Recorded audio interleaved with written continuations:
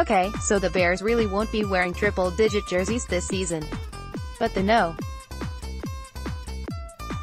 110 jersey that quarterback Mitchell Trubisky wore in the team's April Fool's Day prank video is being auctioned off to benefit Bears Care. The authentic one-of-a-kind jersey, which Trubisky will autograph personally to the winner, is affixed with a commemorative Bears 100 patch celebrating the team's 100th season. It also reads, April Fools, on the back. In the near future, the Bears Care auction app will also offer the chance to bid on exclusive Bears experiences, game-used items, signed keepsakes, memorabilia and items that have been displayed at Halas Hall. 100% of the proceeds go directly to Bears Care, the charitable arm of the Bears.